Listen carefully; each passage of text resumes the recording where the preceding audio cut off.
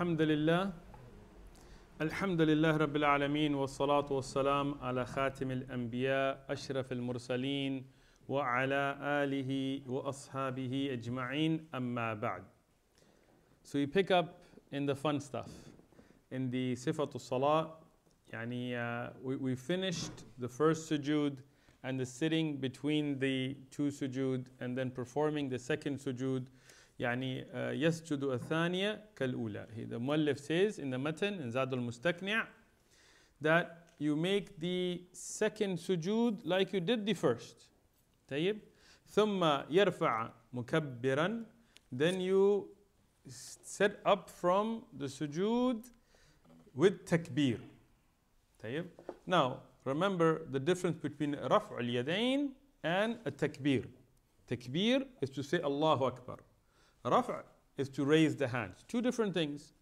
For example, when you're beginning the salah, when you're beginning the salah, the first takbir, the first saying of Allahu Akbar, what is the hukam on it?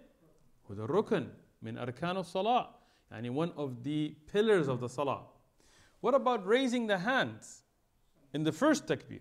Sunnah, mustahab. Yani it's not wajib and it's not a rukn. Tayyib, when you are going into ruku' after finishing Surah Al Fatiha and another surah and all of that, when you're going into ruku', what do you say? Allahu Akbar. You say takbir. What is the hukam on that? Wajib. Not from the arkan, wajib. And we'll explain this when we get to the bab of the farq, yani difference between arkan and wajibat of salah and adilla and so on. But here it's wajib. And raising of the hands? Sunnah, mustahab. Tayyib. When you're getting up from ruku', what will you say سمع الله لمن حمده you will not say Allahu Akbar but you will raise the hands here there is no takbir but there is رفع اليدين طيب when you're going into sujood you will say takbir but no رفع اليدين طيب so رفع اليدين and the tak- saying of takbir are not always connected and the hukm is different on different takbirat and on the رفع اليدين it's always sunnah except for the places where it's not narrated from the Prophet ﷺ, and then you cannot make it there because it's not thabitun an Nabi alayhi salatu wasalam. So when you're going into sujood, or you're getting up from sujood, or you're going into the second sajda, or you're getting up from it, there are takbirat for all of them. All of them are wajib. طيب? But you don't do رفع اليدين with any of them. طيب. Then we get into an issue where how do you get up for the second rak'ah? And they're going to be basically we're going to discuss two issues today.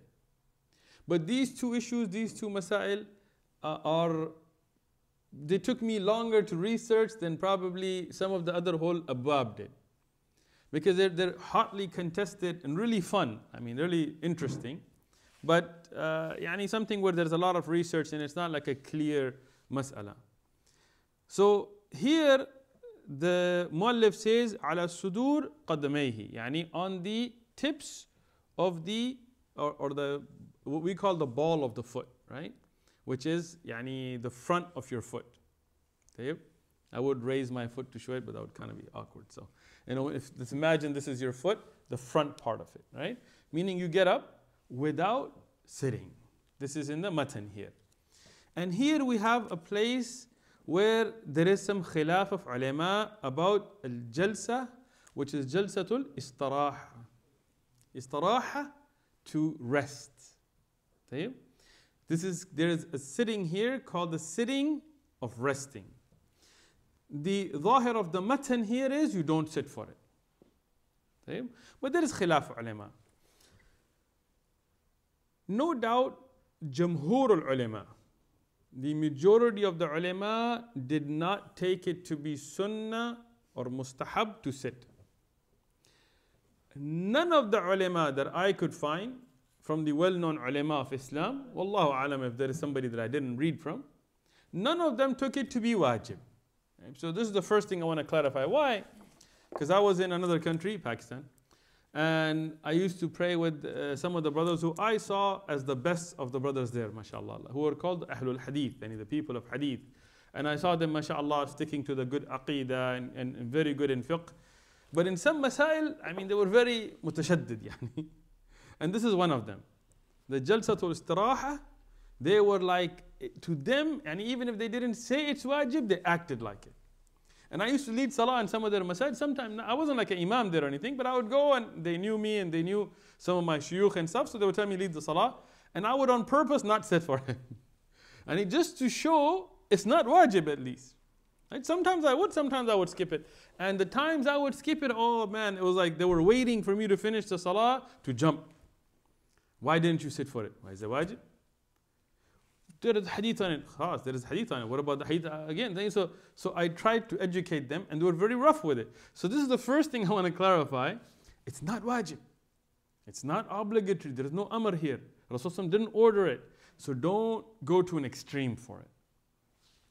On the other hand, some of the uh, other masajid I went there, which I usually didn't lead salah because they didn't really like me all that much.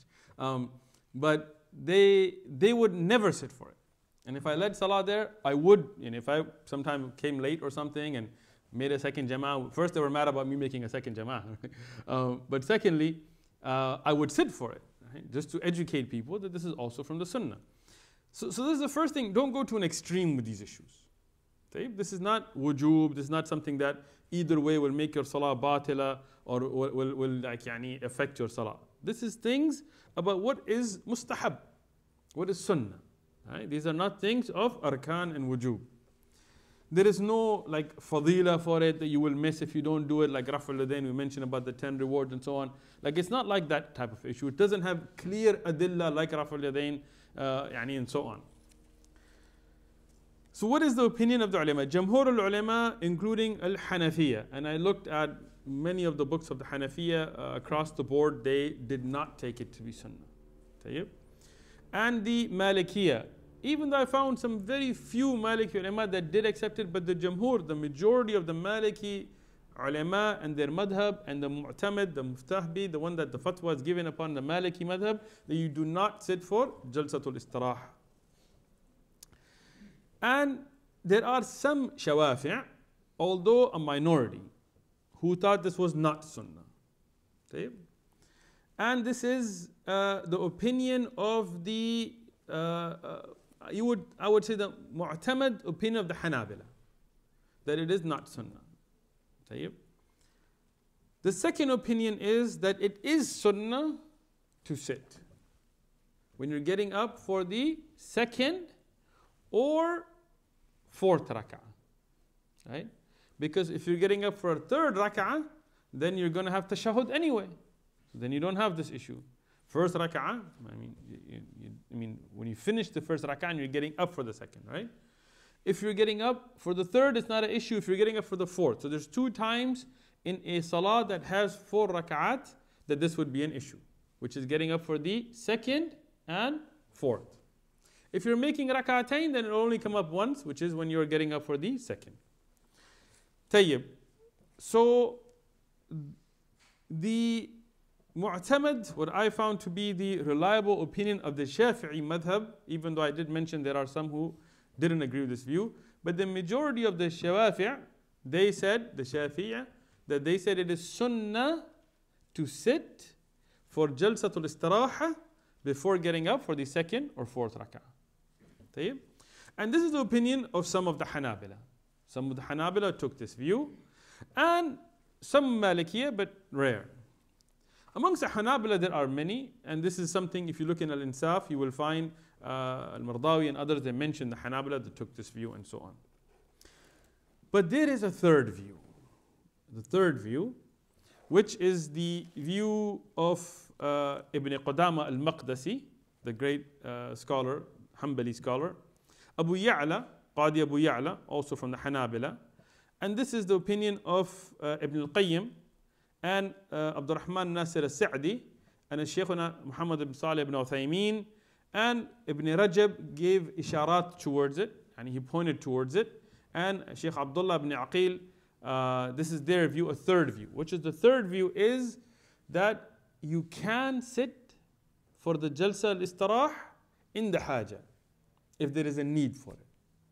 What does that mean? Maybe you're making a, a, a very wrong salah, mashallah, and you made a very long sujood, and as you're getting up, you don't want to get up right on the balls of the feet. You, you may want to sit a minute, relax, istiraha, rest, and then get up.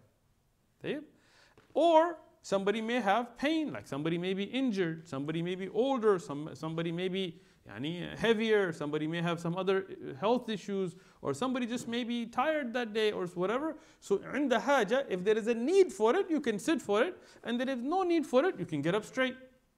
This is a third view. And this, as I said, is the opinion of many of the Hanabila, including some of the major Hanabila like Ibn Qudama and Ibn al-Qayyim, and this is the opinion of Shaykh Ibn Uthaymeen, and this is the opinion I take. This is the opinion I find closest to what is correct. That occasionally, if you sit for it, Alhamdulillah, nothing wrong with it. Occasionally, if you don't sit for it, nothing wrong with it. If you need to sit for it, sit for it. If you don't want to sit for it, no problem with it because of the adilla. So now I will discuss the adilla briefly. I, I could literally write a risala on this uh, easily. I mean, even today I spent all day just reviewing all the notes from my different books today. And, and this is something that I spend months and months of research just on this mas'ala. Uh, I'm not going to go deep, otherwise, it would take way too much time, but I will briefly discuss the evidences. Those who took it to be sunnah, they mentioned the hadith from uh, Malik ibn Huwayrith radiallahu anhu from Rasulullah and this hadith is actually in al-Bukhari regarding witr salah. This is about witr. That Rasulullah sallallahu when he was getting up, when he finished the first rak'ah, he sat and then he got up. I'm, I'm going to summarize from the hadith here. But there is another hadith from Abu Hamid, which is a, a famous Sahabi who explained the Salah of Rasulullah to 10 other Sahaba. And in that hadith, and this hadith is authentic hadith, the riwayah that I saw in Ibn Majah, even though Shaykh Albani yani, criticized it in some of the asanid and so on, but the one I found in Ibn Majah is a reliable narration. This also mentions the Jalsa al-Istiraha, so this is also mentioned the sitting. I did not find many narrations from the Sahaba, but I found these from Rasulullah sallallahu alaihi wasallam. On the other hand, there are some ahadith marfu'an, yani from Rasulullah about getting up on the uh, sudur qadamayhi, yani on the on the ends of the toes. But the ones that are from Rasulullah are all da'if. But there are narrations, as Ibn Mundir has mentioned, for Ibn Mas'ud and Abdullah ibn Umar and Abdullah ibn Abbas, radiallahu anhuma, and many imma and ulama, including Al Bayhaqi and others, they authenticated those. And they are in the Musannaf ibn Abi Shayba and the Sunan al Kabir of Al Bayhaqi, and I looked at them this morning as well. So there are those, but those are mawquf, yani those are from the Sahaba, and there is kalam on the asanid as well. Yani there is discussion on the authenticity of the asanid. But now comes to be, the, so when you look at it just from here, and some of our brothers, especially from the, mashallah, brothers who uh, and you have only studied hadith and not really studied fiqh and things, when they look at it from this, well, you have a riwayah, at least the one from uh, Malik ibn Huwayrith from Bukhari. So no doubt sanadan is the strongest. And you have all these other riwayat, but they all have some da'af in them and some discussion, even if some are acceptable, no doubt they will not meet the level of the hadith of al-Bukhari. So they look at it like, okay, hadith of Bukhari, khalas, this is good. Everything else, khalas, out. Ikhwan, take it easy. take it easy. Shaykh ibn Uthaymeen, he brings up an excellent point about this issue. He says, and Ibn al-Qayyim did before him. It's not something new. And Ibn Qudama did uh, before them. What is the issue they bring up? There are hundreds of ahadith that describe the salah of, the Rasulullah sallallahu alaihi wasallam and out of them, we find only these two sarihan clearly mentioning this. The rest of them, they do mention the sujood and getting up from the sujood straight without discussing whether there was on the sudur al qadamayhi or bi jalsatu istiraha. But when you mention Rasulullah made sujood and got up mukabbiran, yani the, the istidlal from that is he got up straight. Right? When you mention sujood and you mention getting up, then the istidlalan, those are for straight, just getting straight up. Right? So those adillah, even though they're not sarih, they're not explicit, so you can't use either way, but they do come as a factor, right, into play. If the jalsatu istirah was something that Rasulullah did regularly, then no doubt in those ahadith, they would also have to be mentioned. And the interesting thing about the narrators who mention Jalsat Istiraha, they are both yani, from the later Sahaba. Malik ibn Huwayrith, for example, he became Muslim on the 9th or 10th Hijri, towards the end of the life of the Prophet. And those that mention the Salah of Rasulullah from the very young Sahaba and so on, even though there is da'f in those asanid, but they were Muslim earlier, that they mentioned the, the ala sudur qadmayhi. Right?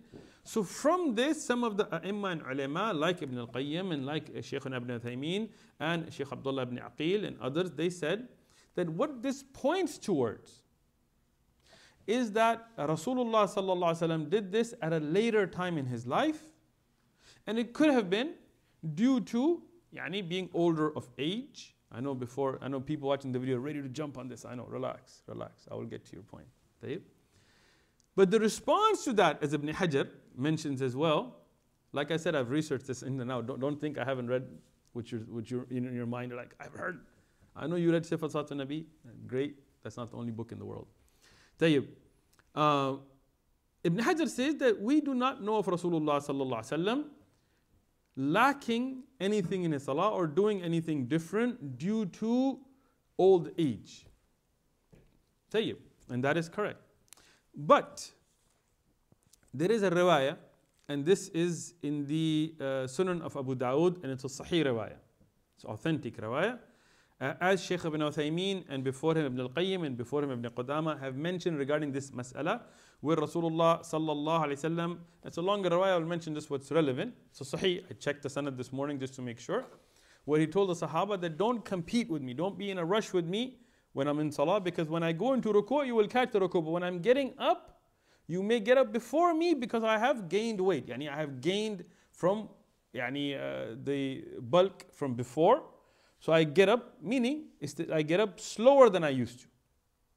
So don't, don't be competing with me because then you might get up and it's istidlalan before me.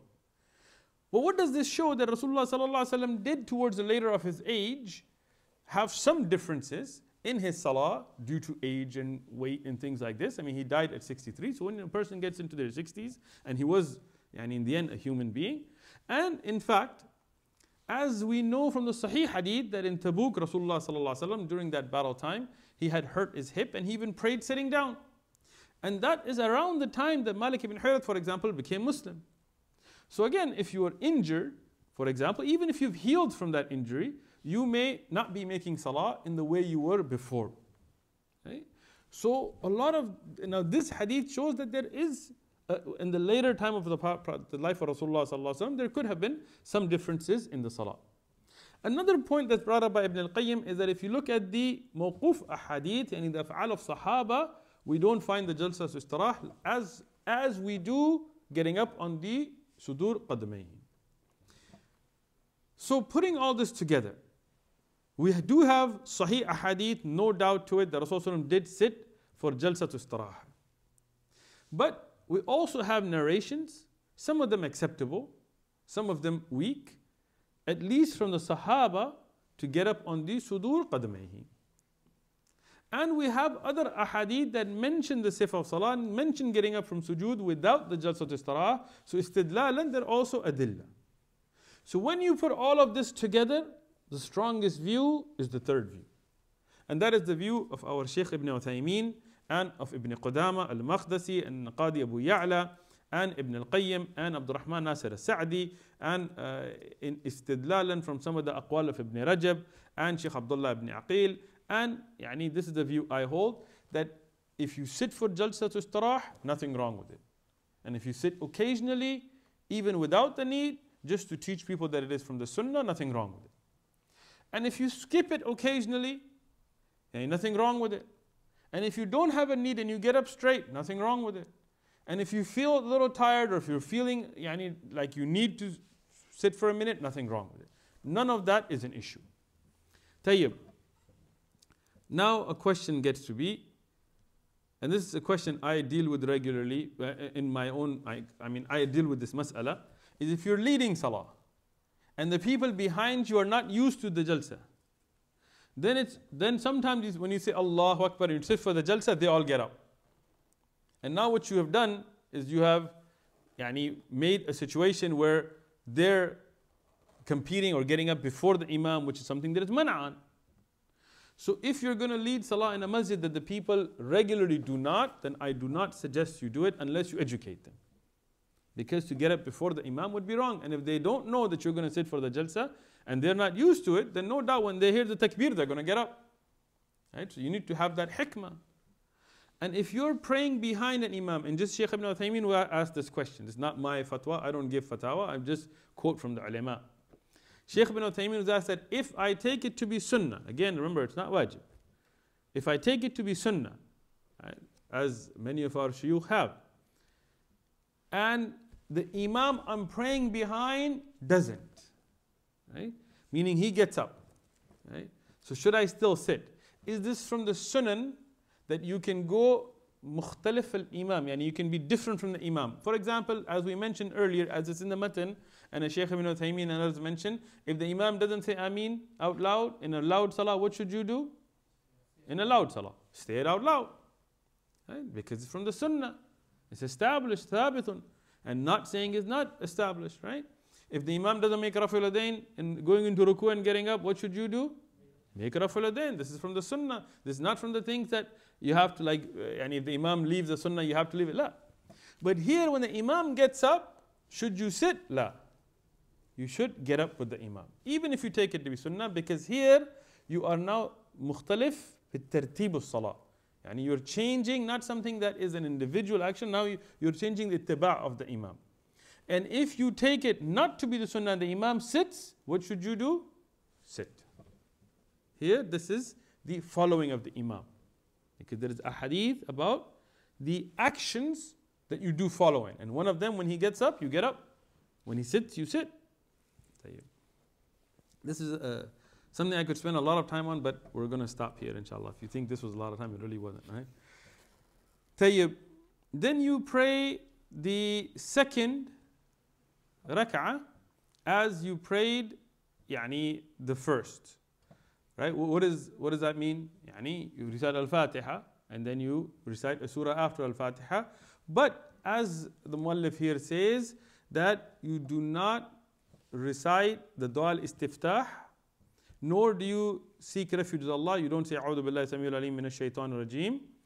And you do not need to yani, renew the niyyah. These three things you do different. In the first rak'ah, when you're beginning the first rak'ah, you make a niyyah. You don't have to make it with words, you don't have to make it with the script, but in your heart you make a niyyah, right? In the second, now you already have the niyyah. Khalas, yani you have the niyyah in the heart, you're good. You don't need to renew it. As some yani shad aqwal from ulama mention it, but this is wrong. Secondly, you have said A'udhu Billahi Sami'ul Alim, and if you look at the adilla presented for it, they are for the beginning of salah, not for every rak'ah. Even though, like Shawafi', they took a different view on this issue. But what is clear for adilla is you do not say A'udhu Billahi Sami'ul Alim min ash-shaytan rajim again. You only say that in the first rak'ah. And you do not recite the dua, the opening dua, dua al-istiftah, right? Which you, you did that in the opening. That is only for the first rak'ah. What you do do is you say Bismillah, Bismillah Rahman Rahim, Al Basmala, and whether it's a loud or silent salah, do you say it out loud or silently? Silently. From the sunnah to say it silently.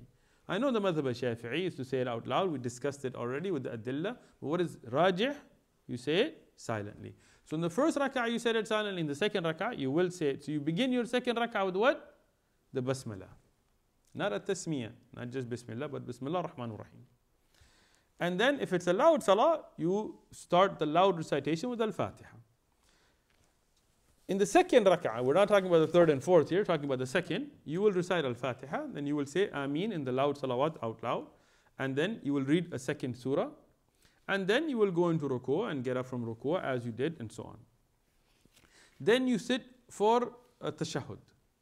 Khalas, we'll, we'll, we'll end here because tashahud is going to have the interesting thing about the ishara, and we're going to save that for the next dars, inshallah ta'ala. جزاكم الله خيرا